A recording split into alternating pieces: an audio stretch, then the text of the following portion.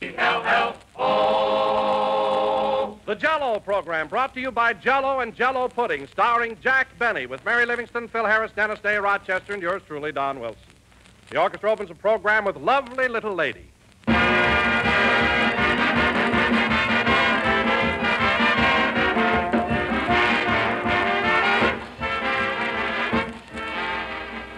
Do you know that old saying, friends, about seeing is believing? Well, even seeing a big, beautiful mold of jello can't make you believe how wonderfully good it is. No, you have to taste it to know what a marvelous flavor jello really has to offer. Your first shimmering spoonful of jello will give you the whole story as nothing else can. You'll taste in it a gloriously rich flavor. Yes, a flavor that calls up the pleasant memory of sunny summer orchards and berry patches. A flavor that's locked right into Jello by Jello's exclusive process. This new process makes Jello better than ever, gives you extra richness, extra pleasure. Prove it for yourself. Open a package of Jello.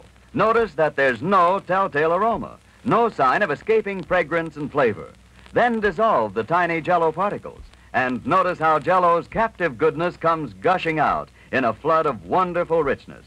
Get Jello tomorrow and enjoy the added delight of swell, tempting flavor locked in by Jello's new process.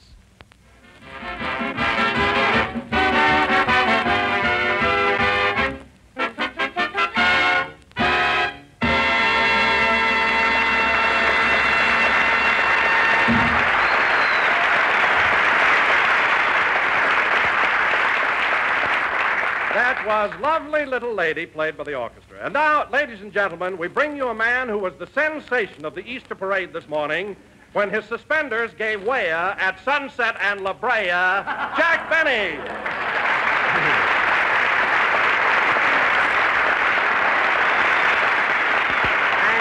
Thank you. Thank you, thank you. Jello again. This is Jack, your little Easter Benny, talking. and Don, um, how did you ever find out about that accident I had on Sunset Boulevard this morning? Uh, were you around there? No, but I heard all about it, Jack. It must have been very embarrassing, all dressed up for the Easter parade and your suspenders break. Well, Don, I didn't mind so much when my pants fell down, but my laundry didn't come back, and I had on those bloomers I wore in Charley's Aunt. I- you know, I I felt like a darn fool. You know? Yeah, I can imagine. You must have looked awful standing there in all that lace and those ruffles. No, no, Don. Uh, apparently, I was rather attractive. In fact, I heard a little boy ask his mother if I was Scarlett O'Hara. of course, I, I had to admit that I wasn't. Incidentally, Don, uh, speaking of Easter, I'm surprised that you're not wearing a new suit today. huh? Well, I ordered one, Jack, but well, you know how big I am. Yeah? Well, uh, to make a long story short, I was turned down by the War Production Board. Oh. Oh, well, I don't blame him, Don. I can see five sailors sleeping in hammocks made from your vest alone. you know? and incidentally, that shirt you're wearing is the only army tent I ever saw with a soft collar. But don't worry about it, Don. If things. Well, for Pete's sake, Well, what's the matter, Jack? get a load of Harris over there. You'd never know it was Easter Sunday the way that guy's dressed. Hiya, Jackson. How's the old wreck today? Oh, fine. As a matter of fact, I just polished the Maxwell this morning. Bill means you. I know who he means. Always has to come in with a wise crack. You said it. Hey, Jackson, did you hear about that big Turkish bath downtown that's going to close up? Close up, why? They ain't got no rubber. Ha ha ha ha ha! That's a Lulu.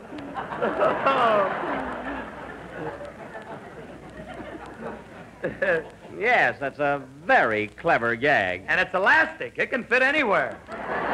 Oh, shut up. Say, you, uh, you want to know a funny thing, Phil? Here I come to work today, all shined up with a haircut, shave, new suit, and tie, and you come in wearing an, all, an old sport coat, baggy pants, and a polo shirt. Yeah, and you want to know another funny thing, Daddy? What? I still look, Look better, than, you, do. I Yeah. Is that so? Well, I'd have a marvelous build, too, if I wore padding in my shoulders like you. What are you talking about? I ain't got no padding in this coat. Then you must have a horse collar in there. It can't be physique. In fact, you don't see me going in for those overstuffed models. I like a nice, simple, dignified cut, you know? Well, you've got one there, Jack. That suit looks swell on you. Really? Yeah, you're a regular Mo Brummel. That's Beau Brummel. Beau. Mo, I know who made it.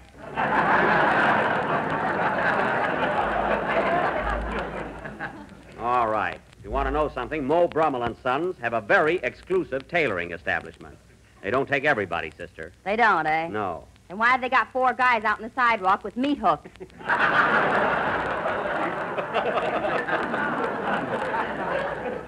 That's only for a gag. If they drag you in there, you don't have to buy. And they have marvelous values. Uh, feel the material, Don. How's that? Mmm, excellent. If I'm not too personal, Jack, uh, how much that suit cost you? Uh, the price? Uh, Twenty-nine fifty. With two pair of pants All right. and a waffle iron All right, all right. and a set of golf clubs. One club, not a set.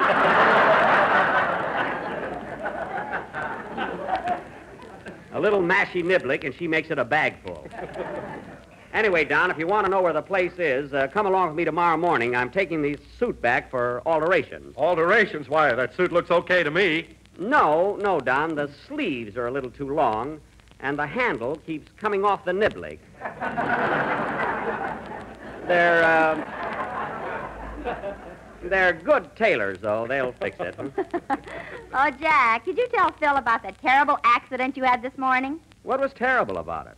I went walking down the street, my suspenders broke, my pants went to half mast, and I was standing there in a, in a pair of bloomers. Wow, and I had to miss it. Boy, I'd give ten bucks to see that. Ten bucks. Well, get your money out, Jazzbo, and down they'll come.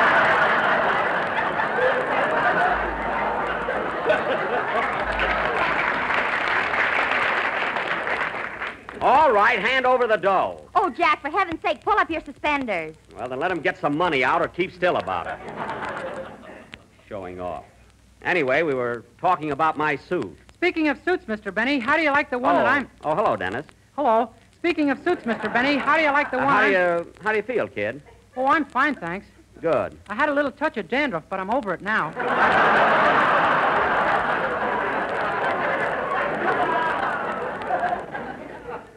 Good, good. Speaking of suits, Mr. Benny, Yes? how do you like the one I'm wearing? Well, it's all right, Dennis, but I don't think it fits you as well as it should. Uh, uh, when did you buy it? I got it yesterday by accident. By accident. Yeah, I was looking in a store window downtown, and all of a sudden I got a hook.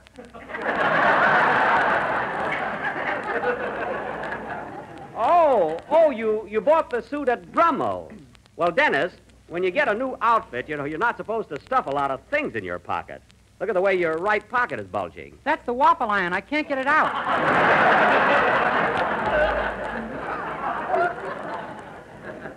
Oh. Say, Dennis, did you get a mashy niblick like Jack did? No, I took the Presto cooker instead. You got a presto with a plain suit? Gol darn it, they told me you could only get a cooker with a tuxedo. Mm, believe me, I'm going back to Brummel's first thing in the morning and raise heck. What are you laughing at? Pull up your bloomers. I can't see your shoes.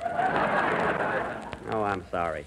Well, Phil, it's about time for a cooker. I mean, a band number, so, uh, so let's have it. You better let Dennis sing first. I can't find my baton. Oh, you don't need a baton. Why don't you just wave at the boys? Look, if I wave at those guys, they'll put on their hats and go home. Oh, well, then look around for your stick. All right, Dennis, unplug your waffle iron and come over here. You got to sing. Okay. Imagine that kid walking in there accidentally and getting a presto cooker. Oh, well.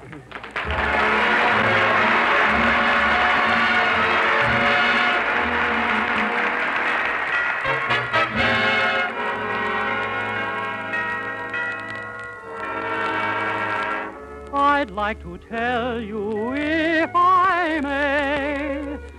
simple story of undying love. How it will finish, I can say. So let us all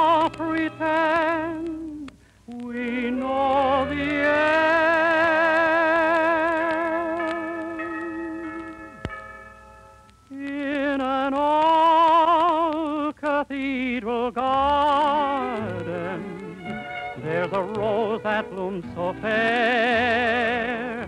Oh, there's someone in the garden, nursing it with tender care. If there weren't any raindrops, this is one thing that I know. She has shed so many teardrops, they could make this flower grow in an old cathedral garden just before they said goodbye. With a kiss, she made this promise that the rose would never die, and she'll keep a flower growing, knowing he'll come back someday in an old cathedral garden. Yes, it ended just that way. Oh, she kept a flower growing, knowing he'd come back someday in an old cathedral garden.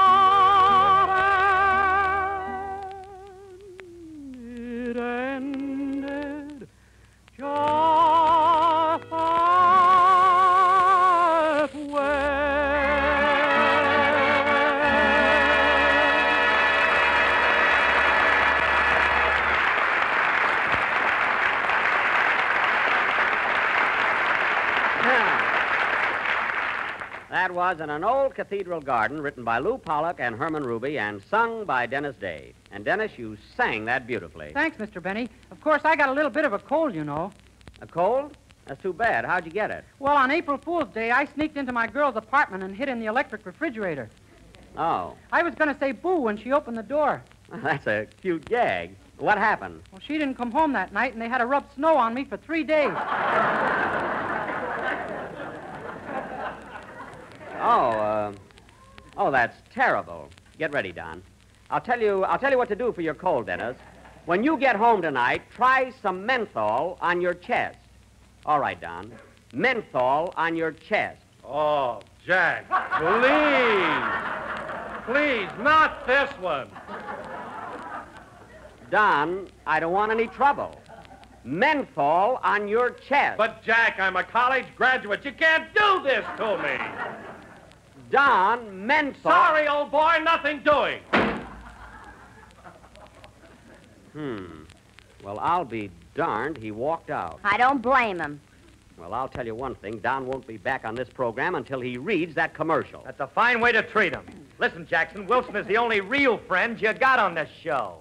What? What about you and Mary and Dennis? Well, you know, it's just a job with us. Hmm. Well, I'm certainly glad to know that. Me, too. I never knew where I stood around here.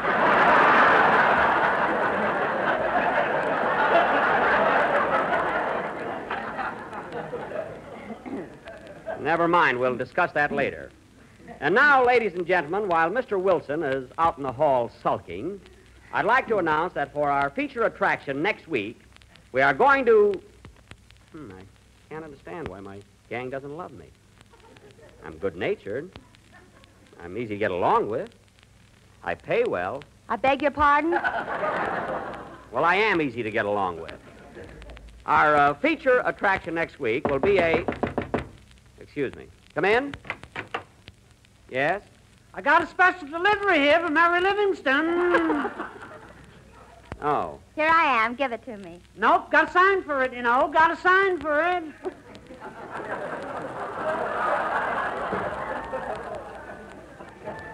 Okay. Postal regulations, don't blame me.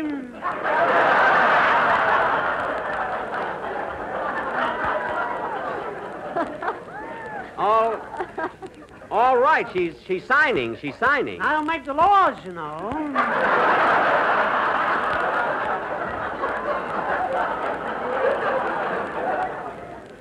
All right. Here. Here. It's signed. If I broke the laws for you, I'd have to break it for everybody else.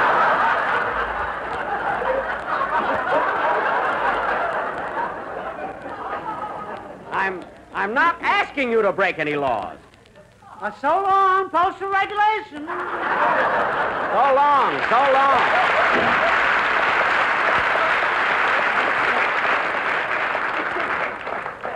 Hmm. Say, that, uh, that guy's a little old for a messenger boy. Spring doesn't mean anything to you either, Bub. All right, Mary, who's the letter from? My mama. oh, fine. What's old Roxy Hart got to say, anyway?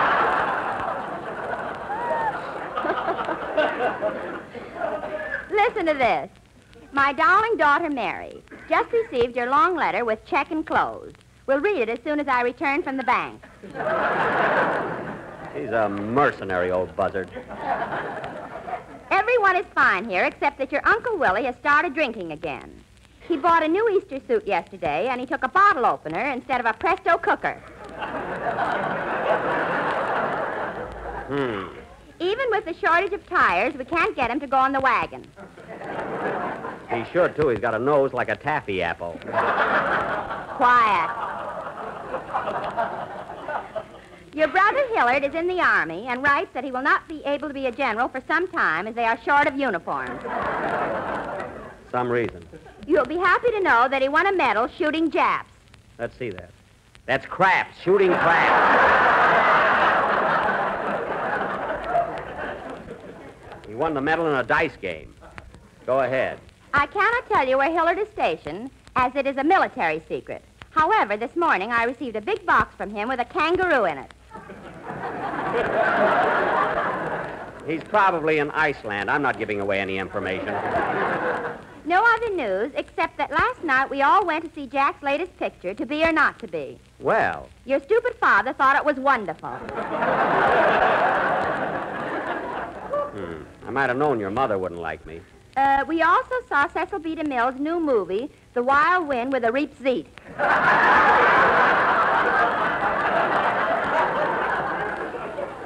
That's Reap the Wild Wind. Boy, is she pressing.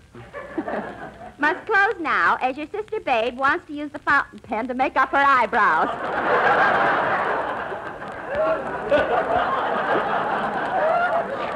Silly. Much love, Mama. Gee, what a corny character. huh? P.S. Always a P.S. If you read this letter to Jack, leave out the part where I ran down his picture. He's so hammy, he's liable to kill himself. There's one woman that gets my goat. Mary, when you answer your mother, tell her if she didn't like me in my picture, I'll be glad to refund the 30 cents it cost her to see it. Oh, she probably sneaked in. She wouldn't pay to see you. Well, I'm going to send her the 30 cents anyway, just to embarrass her. I saw your picture last night, Mr. Benny, and I t- stayed for three shows. Well, It was sure good to get in that warm theater after that refrigerator.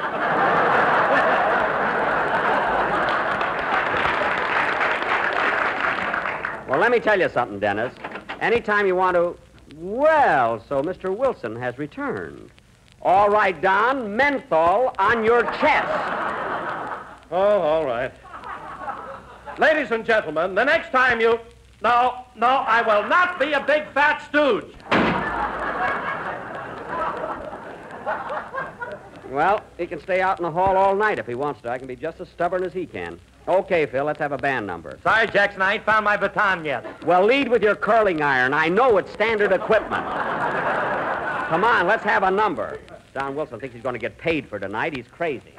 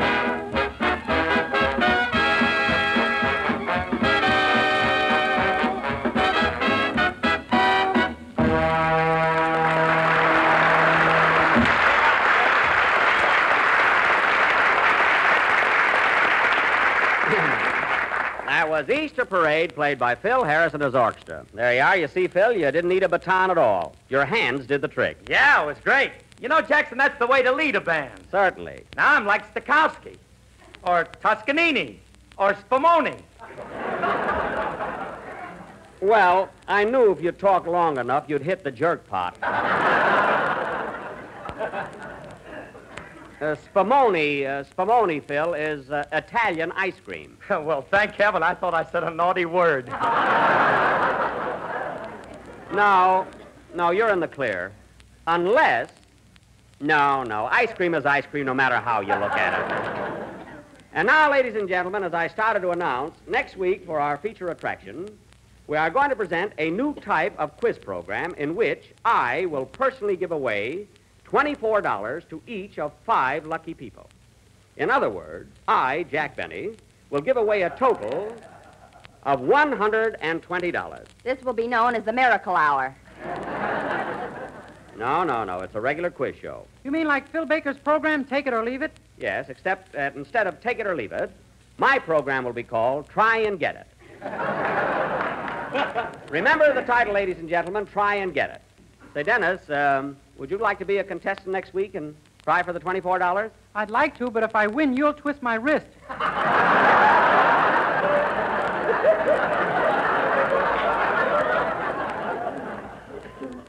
There'll be no violence.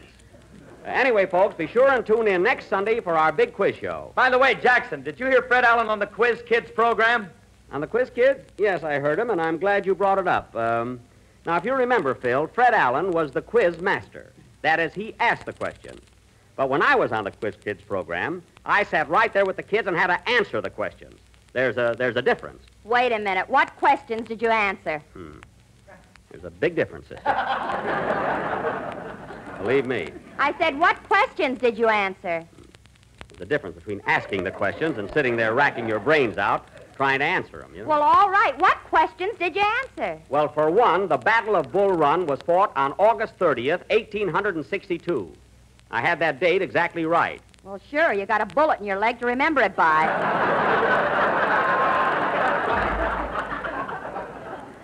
I wasn't even there. anyway, the point is, I answered the questions, and Allen only had to ask them, proving he's afraid to show the world how stupid he is. You weren't afraid, by golly.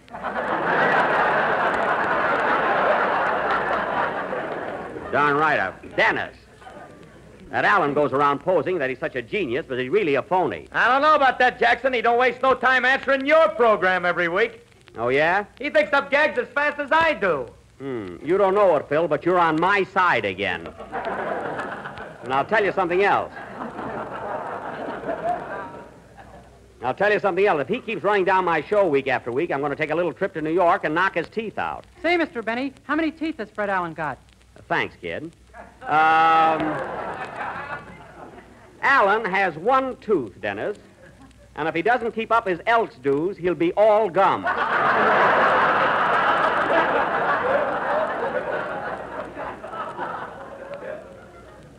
he hasn't eaten anything with gristle in it for over 30 years.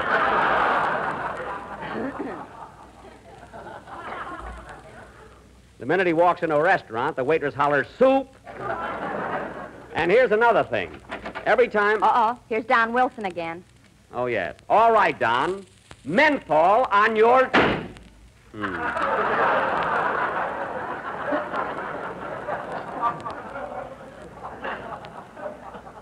There he goes again.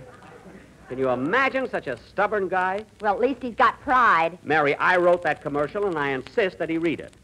I'm running this show, and until we find. I'll take it. Hello? Hello, Mr. Benny. This is Rochester. Hello, Rochester. What do you want? I'm quitting, boss, effective as of immediately. What do you mean you're quitting? What's the trouble? It's that crazy boarder of yours, Mr. Billingsley. He's been chasing me around the house all day with a bow and arrow. What? And he keeps putting apples on my head. He thinks he's William Tell William Tell? from the overture of the same name.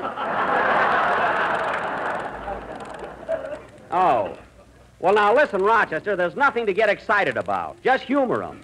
Let them shoot an apple off your head. Are you? Are you kidding?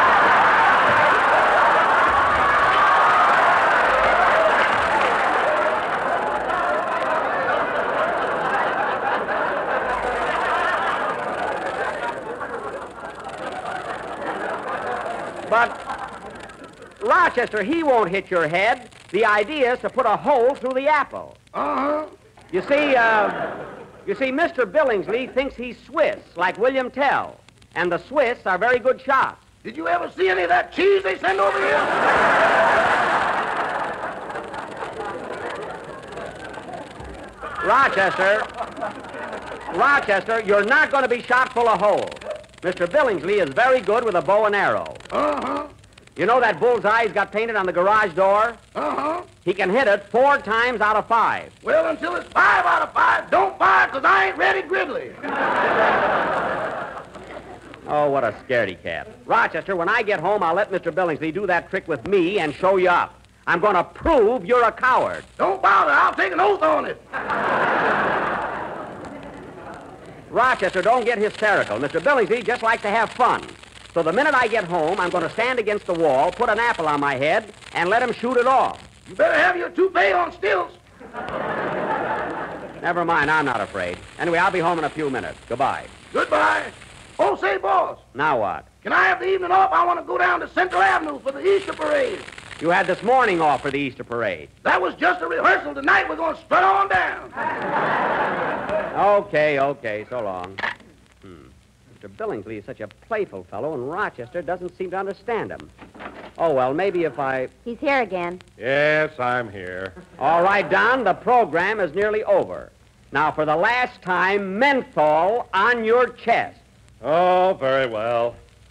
Ladies and gentlemen, the next time you go to your neighborhood grocer, be sure to buy a package of Jello. The ladies think it's delicious, Here it comes, folks. and the menthol say it's chest wonderful. I hope you're satisfied. Well, I'll be. He'll pay for that door, or my name ain't Scarlett O'Hara. Play, Phil.